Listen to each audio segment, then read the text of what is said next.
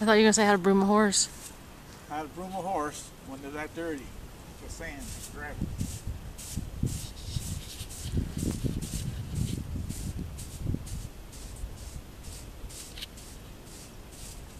Stand.